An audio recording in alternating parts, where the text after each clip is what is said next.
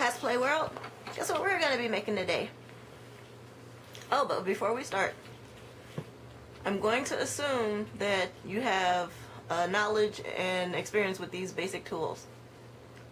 Um, we're going to be using wire cutters, um, a sewing machine, although you can hand sew, and a hot glue gun. So, uh, with that in mind, let's start. And cut. So, we're to need our supplies, of course. First thing you're to need is your reference art. Poster board, a pen or pencil, some scissors for cutting fabric, plastic canvas, also known as cross stitch mesh. Uh, a lot of cosplayers are pretty familiar with this. You can get it over by the embroidery floss in any of your craft stores. A Sharpie or a permanent marker.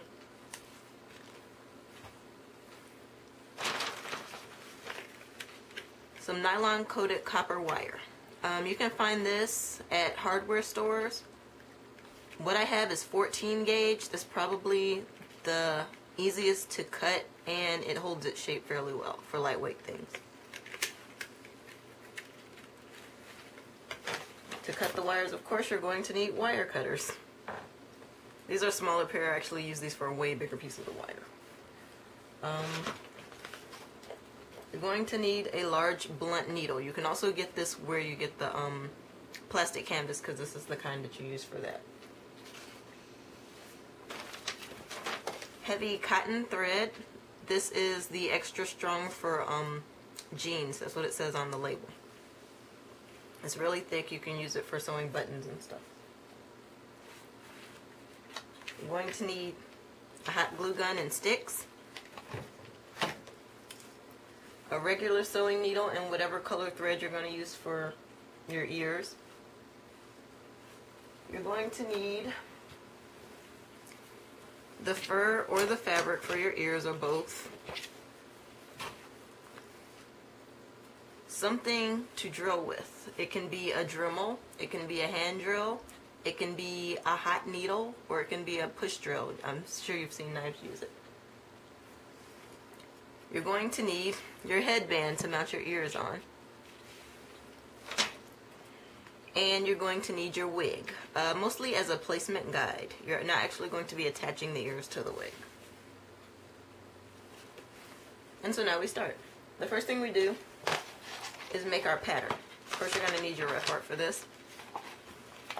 Um, I already drew out the flat shape of the ears. This is generally how the ear looks on paper. what you want to do, like you don't want a flat ear. You want your ear to look like a real ear since this is going to be on your head. You don't want them just shooting out the sides. So what I'm going to do is take this flat shape and show you how to add onto it to make it look like a, a real ear to give it some dimension. So what you want to do is cut out most of it, but not all of it.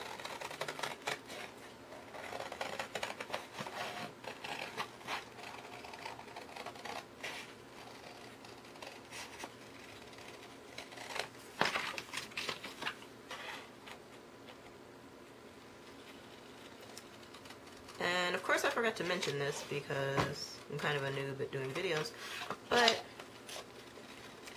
you want to make sure that you draw your ear to the proportion that you intend to wear it. Um, we are going to add a seam allowance to it later for sewing, but right now you don't have to worry about that. Um, you notice I left this here. You can leave more if you want to, but you're pretty much going to, actually I need to cut off a little more. When you get to the highest point on the ear, everything after that you're going to leave. Until you get to the edge. And what I'm going to do here is cut right to the corner and then cut that out. So, if you look at, in, if you have a pet like a cat or a dog, if you look at their ear, or your own ear really, it's kind of it has um like a shape that turns in at the top. And that's because your ear is basically a funnel for sound. And you want to make your costume ears look like that too for your character because, you know, they got to hear. They're not just shooting out the side of their head. So, to make that, you're going to take the shape and curl it over. And then with your Sharpie,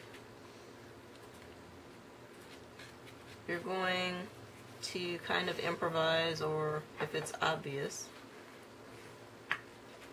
you're going to kind of make that shape. And you want to make this curve similar to the curve that you made on the inside of the back part of the ear. So we have that.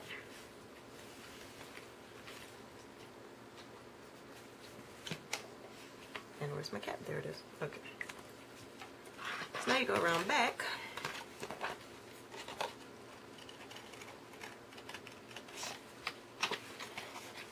And you cut off all the rest of the stuff you don't need. I know I made points on here, but try and make your shapes round when you're cutting them. And there you go. Now you have a three-dimensional ear. And it also makes the ear able to support itself better because if it curves in, it's going to be less likely to flop all over the place because you don't want wings, you want ears. So now we have our pattern.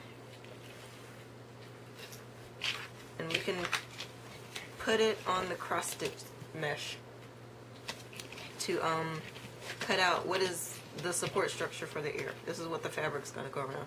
It's like the cartilage in your ear. So we're kind of structuring this like a real ear. So you want to use the Sharpie and follow as closely around the shape as you can. Fortunately, I already did this earlier. So now we have to is cut it out. And we're going to go and fast forward right here.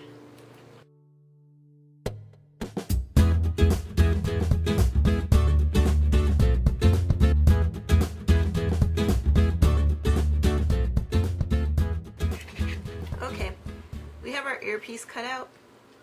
I forgot to mention this before I started cutting, but you don't want to leave any of the line that you traced, or as little of it as possible anyway. Sometimes it's hit or miss with cross stitch, cross mesh.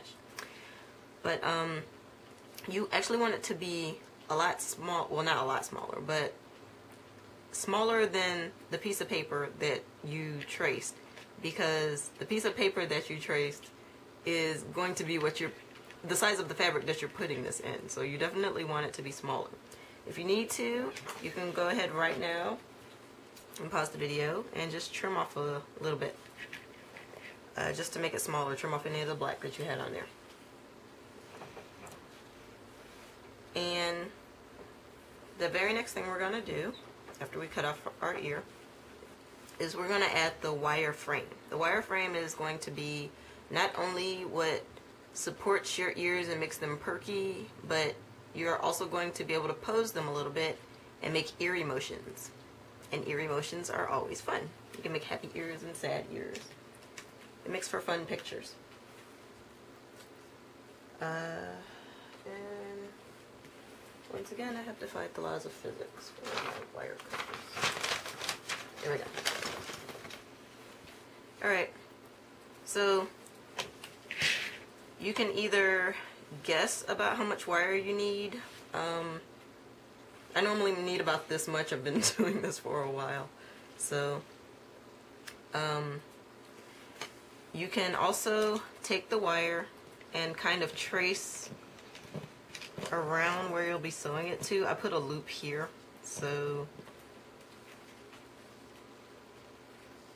it's not the exact loop, but it's better to have too big of a loop than not enough.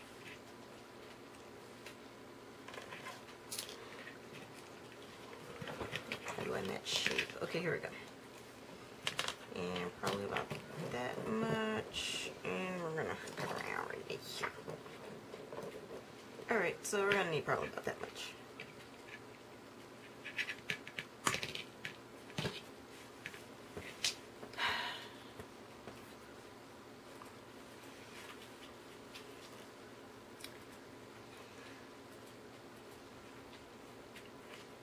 Alright, straighten that back out. If you're one of those people who likes to measure stuff or have a measurement to go with, let's grab the old measuring tape and see how much this is because it's been a while. Yeah, okay. Let's say round up one and give it 20 inches. Alright, that being done, now we're going to create our shape.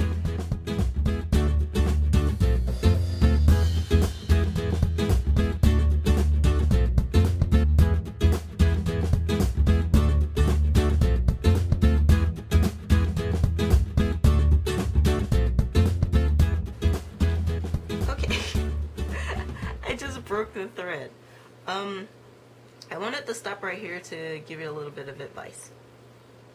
When you're doing hand sewing for anything, I know it may be annoying to work with shorter lengths of thread, but it's a really good idea to only use probably about a two foot stretch.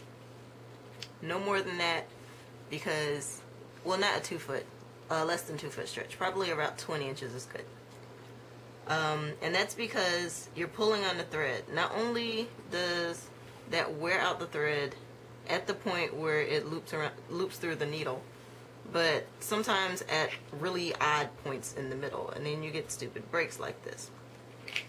If you do get a break, you can choose to tie it off and keep going.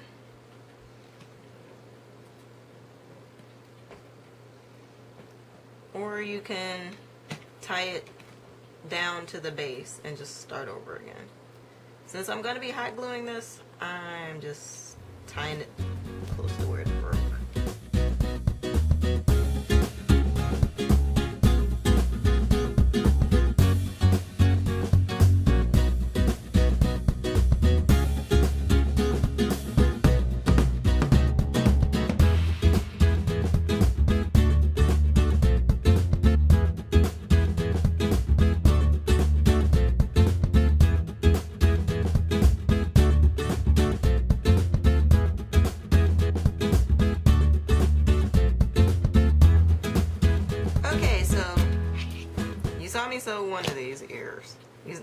it took forever. It took a lot longer than 30 seconds.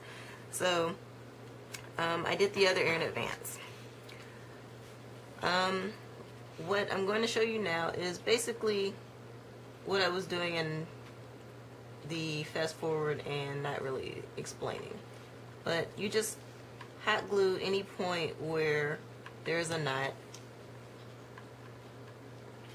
on the back of the ear. And if any knots happen to show up on the front of the ear, you can hot glue it to. Make sure that the hot glue is flush and you can rub the tip of the gun around on the thread so that it lays flat. And you can always snip the ends of the thread. When you're done with that, make a nice little blob, a flattish blob of hot glue over the edges of the wire.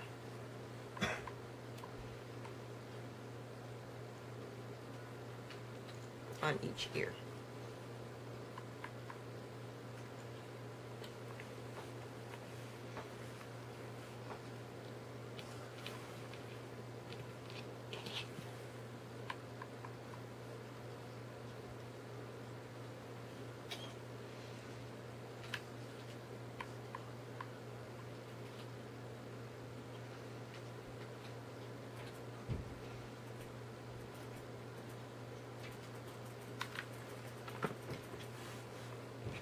You also want to make sure that you mirror the ears to each other. You don't want to make the same ear twice because you want them to go on each side of your head.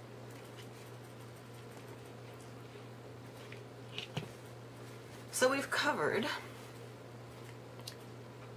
making the pattern for your ear, making the little fold over part so your ear looks realistic and three dimensional, uh, cutting out the base and making the wireframe support.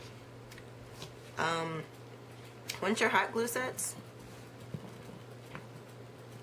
you can make a preview of how your ear is going to look.